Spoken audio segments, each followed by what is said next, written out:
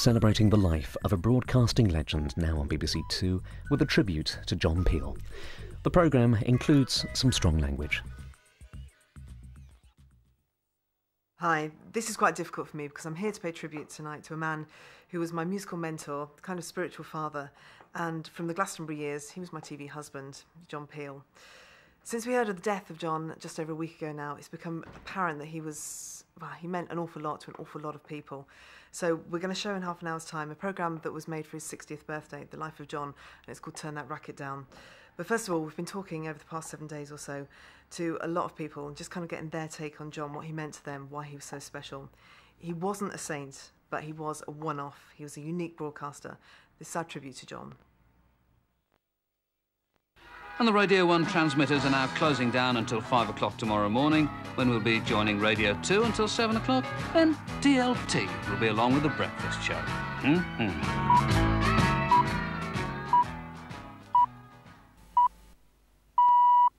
it still doesn't become reality to me. I still feel he's on holiday and he's coming back. You know, he's just got a bit. You know, he's having a extended holiday because I can't accept it. I sit opposite him. I get the feeling that John wasn't ready. You know, none of us were ready. Certainly, why would we be? But I don't think he was either, and I think that makes it quite tough to talk about. You know, I'm like, oh no, 20 years younger than the man. I always thought I'd go before him. He was just one of those people you just always thought would be around. It's like the Ravens at the Tower of London. It's just. BBC ain't the same place anymore. It's not the same without John. Everybody that I've encountered says it's like losing a friend. And that's everybody from the kind of experimental punk, new wave, rock, reggae kind of area to the people that listen to Home Truths on Radio 4. I mean, it's interesting, you know, the kind of two ends of the social spectrum, and they all have the same thing to say about John Peel. I'm sure everybody in the country felt if they had a problem, they could go and talk to John, he'd understand it. You know, there was this, this lovely, um, I don't know, empathy with people that he had. I mean, I can't remember anybody in the music industry dying that has caused so, so many people to write so much about one person and and that just is a very much a tribute to John Peel. It's been a hard year. You know, Alistair Cooke's gone and now Peel's gone. You know, it's uh, it's we've lost uh, two uh, of the greatest voices to radio in the space of a few months. Really, since I was about thirty, I've had no ambitions to do anything other than what I do. So if I drop dead tomorrow, I couldn't really complain, to be honest. I mean, I hope I don't, you know, because there's going to be like a new Fall LP next year and things like that, you know, and uh, I want to hear that. So it's just been nosiness that keeps me going, thinking, you know, if I stay alive another day, will the man from, uh, you know, the security van turn up with another box of records from some importer in London? you know, it's just babyish stuff like that that keeps me ticking over, He stood for integrity. And I know you can say pop music doesn't matter, but it does matter to an awful lot of people. And John represented integrity in that particular world. But he, he also represented trust in a different sort of way. People felt that you could trust this particular individual, and therefore you could trust the medium on which he appeared. I remember the first time I ever heard John Peel. I was in Birmingham. I used to live in a place called Handsworth. And Handsworth was a place where we ate Jamaican, we slept Jamaican, we drank Jamaican, we listened to Jamaican music. And I went to the other side of Birmingham, Moseley, and went into a guy's house, a white guy, and he was playing all this strange music on the from the radio. And then immediately afterwards, uh, this like really deadpan voice went, and now, ladies and gentlemen, we've got Misty in Roots for you.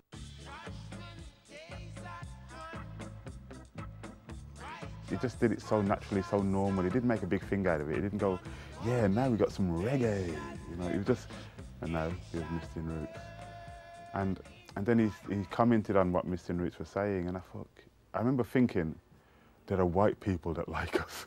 I had him synonymous with that kind of handheld transistor with a single earplug radio thing. I mean, I was at boarding school, so it was just lovely to be able to listen to something that had a that that it was quite freeing, quite liberating. He, he, he was a world outside of this odd situation I was within. And he became a sort of de facto big brother for those of us that didn't have one. Peel felt like the vital link in the days before internet. Um, the likes of me and my pals clinged to Peel for information, entertainment, um, everything. He was a, a lifeline. Although John rubbed shoulders with lots of stars, getting close to them wasn't the point. I don't really have a relationship with bands. I mean, after, I'm a 55 year old bloke, you know, with four children. I live out in the country near Ipswich. Uh, so you're not going to find like a bunch of 18 year olds who are just uh, discovering, you know, uh, their way in the world of uh, pop. Uh, they're not going to want to come and hang out with John Peel, very reasonably. I don't blame them at all. Instead, he hung out at home with his children and wife Sheila. Often he never met the artists he championed. It was their music he was interested in. Maybe as a person, he was a he was more reserved, and you know, I think he voiced his love and showed his appreciation by, you know, playing the music, and that's just the truth, man. It's like for real. He, that's you know, that's how I think he knew me. You know, I would be in my house and I'll switch the radio on like uh, eight, nine o'clock in the evening, and he would be playing one of my records, and he would be talking about it as if he knew me. And I think that's a personal touch, and that's because he actually listened to my music, and I, I'm I'm proud of that, you know. My relationship with with John Peel goes back on, on very much a professional level. Um, I didn't hang out with John, or I didn't really know him outside of the, uh, outside of those sort of things that we were doing. I found John Peel very shy, um, to me, um, and I'm very shy. I think we were just very sort of shy and deferential to each other, actually, um, on the times that I, that I met him. First time I ever met John was when I was doing an interview with David Kid Jensen. John was kind of moseying around through the glass getting his show together. You know, I was I was on air, but I was thinking, bloody hell, that's John Peel, you know, there he is. So he came in anyway to say hello, and, um, and he was, you know, he's really, you know, what everyone knows about him, really. Self-effacing and very kind of droll and kind of dour but funny, you know. He didn't play our records because we were mates. We didn't meet him until a long time after he'd been really hammering our records. Hello again, millions of listeners. On tonight's programme, we have a session for you from new fast automatic daffodils. They're first for the programme. We were both quite shy around each other. I saw him not that long ago, actually. I was driving down Great Portland Street and um, he was standing waiting to cross the road. And I waved at him really, really enthusiastically. And he smiled and he nodded.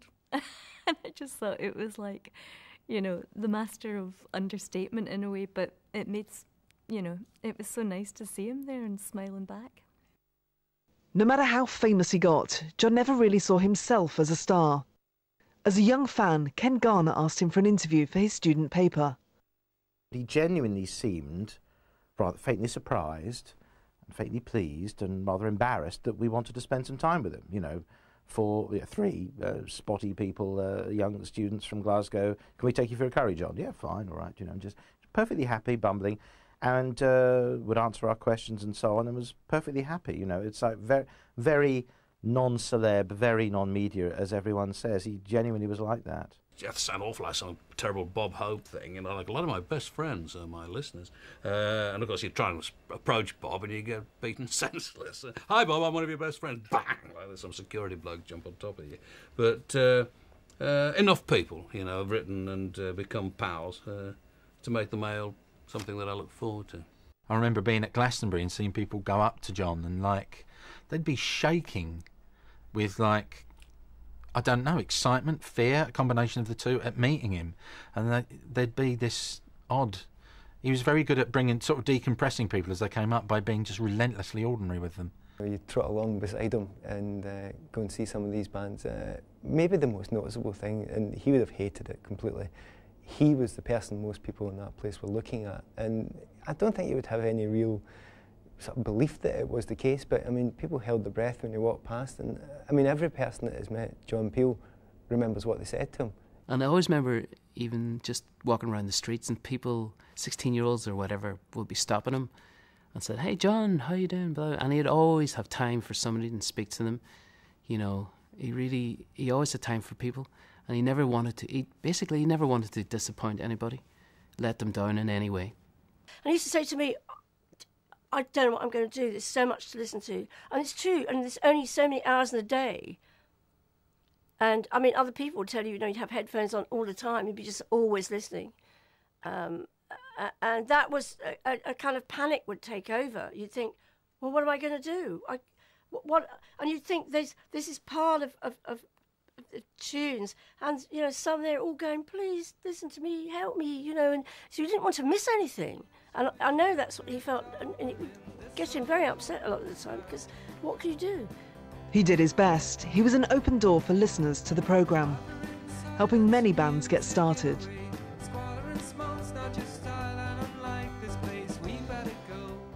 I used to, you know, run bands and run clubs, you know, in the 80s, and um, I didn't have a phone in the house, but you used to be able to phone his show and get through, so you could catch him in between records. So when the record came on, I used to run down to get the payphone and ring his number.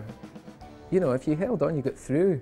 I said, John, I've got, I've, I've got this uh, gig coming up. It's the Wasp Factory. We're doing a, um, you know, we're doing the Kitchens of Distinction and Frank Sidebottom at such and such a venue, you know, and we've got, you know, we're playing great music and um, you know, any chance you could mention him? He's like, oh yeah, yeah, no, I can do that, you know. And I do think, right, right. And then, so you put the phone down and run back up to the house. You just get there and type at the end of the record, switch it on.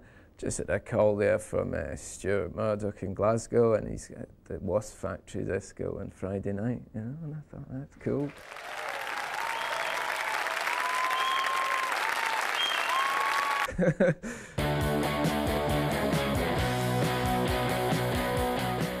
John gave a leg up to the undertones too. Sent him a demo tape with a letter, and he never replied until I think it took about two months later, something like that. He wrote a really nice letter. Dear Undertones, I've behaved like a typical music business arsehole over your tape, and I'm genuinely sorry about this. Really like the tape, I think you should record a session for us. John Peel, the world's most boring man. I can't afford you to come over to London to do a session, but I'd like to actually pay. I'll pay for it myself for you to go do it in Northern Ireland if you can. It's incredible for somebody like John Peel to do that, you know, dip into his own pocket. So consequently, we did the four songs, and he did he did broadcast it within a couple of weeks. Oh right, I've lost the stamp that said John Peel, the world's most, most boring, boring man.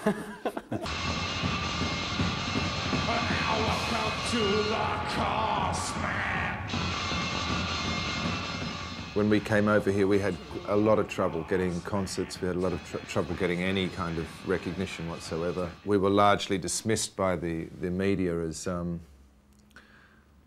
as just this sort of wacky novelty band from Australia or something like that. Um, and John Peel really liked us, and he, and he played us over and over and over again. Um, we did four Peel sessions with him. Um, and, you know, really, if it wasn't for that support, I don't know what we would have done, really.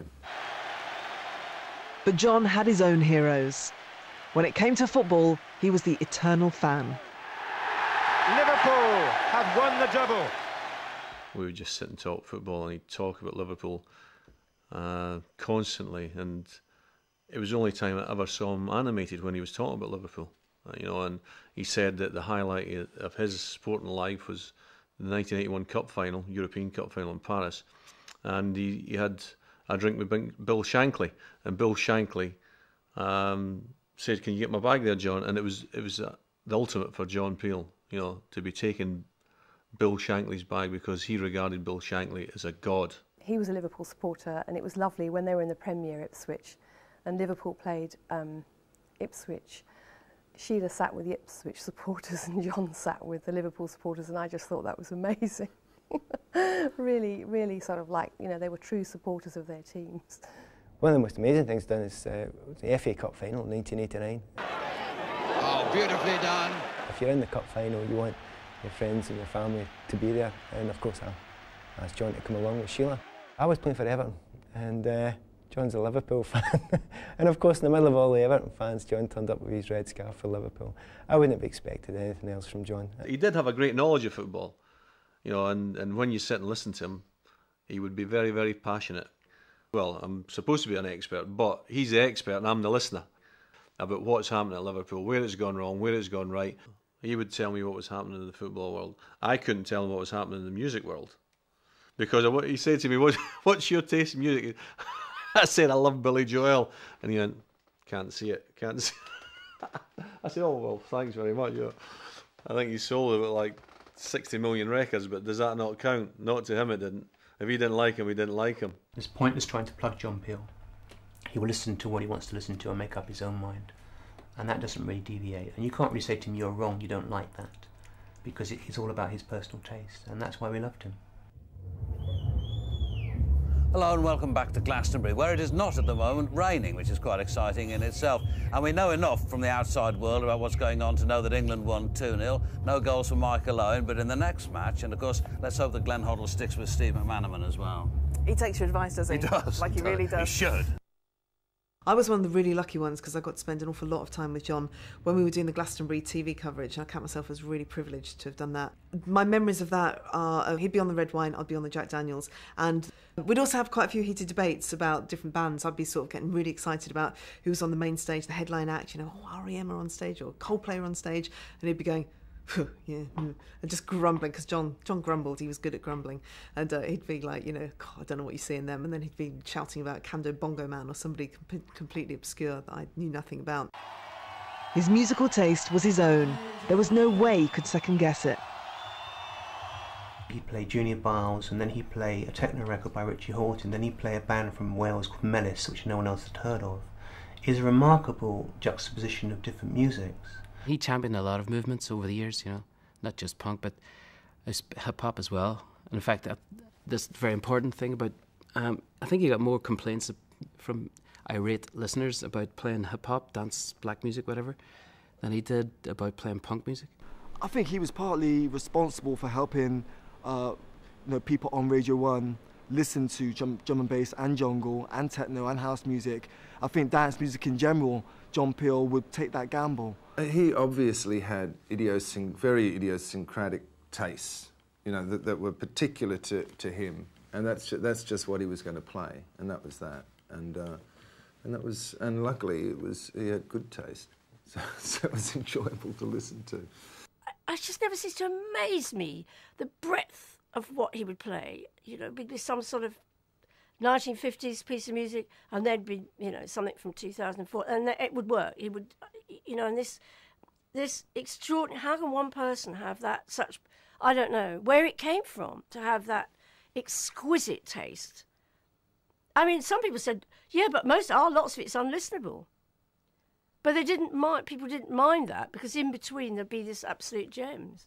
The fact was, if he was just another bloke playing this kind of music, you wouldn't it, you wouldn't listen to it all the time. You wouldn't put up with the dross that he used to play, you know, a lot. You know, you, you know, for the, the one and three, the one and four in, interest in you know, breathtaking records, you know, unless you had that little the personality, um, the, the, the ease that he put you at, you know. The thing is, if he played something bloody awful and you'd be listening and, ah, oh, you know, three minutes of feedback and, you know, a Scottish accent squealing at you, you'd, you'd, you'd weather that because you knew around the corner, well, what's next? There was a constant box of delights. If you can get a lot of people listening to Captain Beefheart, whether they listen to him because it's a cult thing or because they really listen, doesn't really matter that much, because if they listen to it as a cult thing, then the chances are they'll get into it properly eventually anyway. But if you can do something like that, you know, it's worth all the ludicrous uh, nonsense you have to go through to do it. He said quite recently to me, and this is so simple and so true, he said, I am just I just want to hear something I've never heard before. And that's it, really. That, that you can sum up what his quest musically was all about. He would be listening for something exactly that isn't a, a copy that isn't you know that hasn't been done before. The thing about Peel is, at his best, is every record challenges the assumptions of the one before. You hear a record, you think, oh, that's nice. Well, that's quite good. And then you're immediately challenged. Say it's some nice kind of folky thing or some indie pop jangly thing. You think, hey, that's, that's pop music. There you go, do, do, do, do, do. And you think, yeah, and you think, ah, now I like both of these, but how do I feel about that? And that's the reaction he wanted. No other DJ does that. No other DJ in the world does that. That's him. That's that's what that's what we've lost. One of the records he wanted to hear was Stiff Little Fingers, Nobody's Hero, and there's a version of it that occurs uh, rather neatly on a Peel Sessions LP, which I'm about to play in now. It wasn't only the music; it was his delivery that charmed people. John Peel was one of the great broadcasters because he had that extraordinary ability to be himself. You had the sense with John that when he was broadcasting to the nation, to millions of people, he was exactly the same person that he was, had been 10 minutes earlier when he was talking to somebody who just bought him a cup of coffee in the office or bumped into somebody on the way into the studio that morning. He was himself. There was no side. The, the, the person you heard on radio, he just spoke like that off radio. Uh, you didn't feel that he was, um, he certainly wasn't packaged. He certainly didn't hype himself up. He, I don't even think he would call himself a great DJ. You know, he, he was a bloke that played records. And it was, to a certain extent, like going to a bloke's house or a block coming down to your house and saying, you know, listen to these tunes that I like, Benjamin, you know, see what you think of them. You were sitting listening to him in the car, then you thought, hey, wait a minute, he's talking to me here. And, and that, was, that was a great style. And it was one of his best attributes that, that he could sort of, you know, sit in front of a microphone and be just absolutely relaxed and talk as though he was talking in, in a pub with six mates. And now from a knave, me, to a queen, Annie Nightingale. This self-deprecating humour, the playing the records at the wrong speed, uh, sometimes the playing the, the things at the on you know uh, the, the wrong side, and being a you know a human being. He was so the opposite of your slick DJ. You know, he was it, it, just so determinedly himself. Sometimes you hear people described as having a bit of a John Peel voice, which is a kind of that soft burr to it, but also just that slightly lugubrious, but not depressing way of speaking. And at one time, DJs all had to talk like that, you know, all right, mate, not up very, you know, talk very quickly, up to the vocal, all those things, not say er or pause for thought. It was considered more important to talk without stopping rather than stopping briefly and think about what you were going to say. Well, it's quite plain and nothing that I can do here to, to help, is there? That's patently obvious, I think. And all the time there was John just talking about what he wanted to talk about and stopping and saying uh, and pausing and just getting it. And you know, we all thought, and well, I say we all, speaking for us all, but I thought, and I know lots of other people, he was the one who said, no, well, you can do it this way. It, it was, it's a funny one, really, the idea of a reticent DJ, you know. And uh, obviously, he could have only come out of the UK.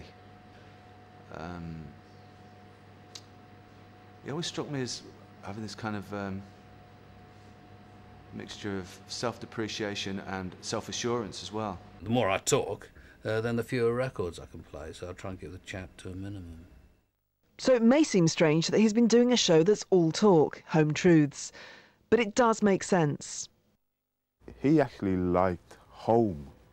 He actually loved his family. He liked his house. It was a very important place for him. So I think it was natural for him to do home truths. I remember when he first did it, some people said, "What's he doing that for? What, you know, what's that about?" And I said, "Well, that's about him. Just, just like he wasn't putting on a show when he did, you know, his Radio One show. He's not putting on a show now. This is about him." thought it was very cool that uh, his uh, home life was very openly important to him. He's a real champion for uh, domesticity uh, as cool, you know. Don't know whether that's been done with uh, quite as much style. Hello and welcome to Home Truths, a name chosen only when it became an administrative impossibility for programme planning to continue without a name. It's a great skill to be able to talk to people, at, to put them at their ease, to make them feel entirely unself-conscious, and just to get them talking about themselves unself-consciously. Uh, he could do that. By golly, he could do that. Recently, the worlds of his music and his domesticity came together when he started to broadcast live from home. Chris was in the bathroom. We had to put Chris with his keyboard setups in the toilet, and obviously we had uh, hilarity every time. You know, he'd flush the, the bathroom every time he was like playing a solo or something. I was kind of standing on some stairs to sing, and John was over at the desk with the with a microphone. But it's also a bonus when you get to meet him because he's instantly entertaining. Uh, you know, just uh, story after story, and um, and he, that that angle that he, he puts on on things.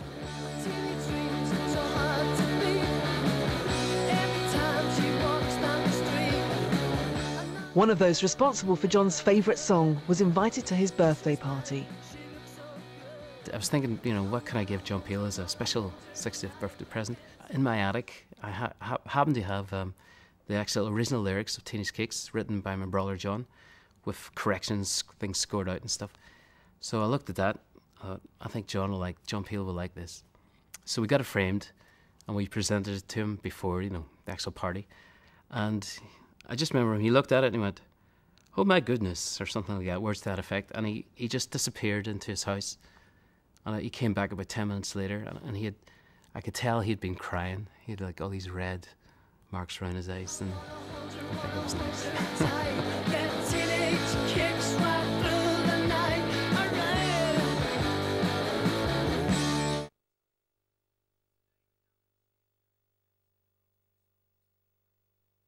It's hard to imagine who might replace John Peel. It's hard to imagine anybody that's got that kind of um, width and breadth of musical taste, really. Somebody that would have the nerve to play Gene Vincent, you know, next to the Bloc Party. I think that takes quite a lot of courage or bloody mindedness. I miss him because we need people with passion and bravery and good taste. I like one offs as well. That's kind of perfect that he was a one-off, right? There was no real protege waiting in the wings. I mean, that was the great thing about John. He said that he was the luckiest man alive with Sheila and the kids, and he just enjoyed every minute of his life. And um, to die at the age of 65 is unbelievable. It is so tragic. I don't think that the true impact of, of John's passing has been felt yet. You know, in in about a year, we will realise the massive void that's been left. And a lot of people, eh, since the last week, have said, we, are, we all went out and got terribly drunk last night to, to help us through this. And I don't think he'd have minded that. And you could have quite, you know, said, well, okay, yeah, as long as having a decent bottle of Rioja. He's a voice that we needed. He was there for the people, for real, man. He was, you know, we lost one. That's just the way it is. But I'll smile for him, you know what I mean? I will. I'll smile for him. We lost one, man.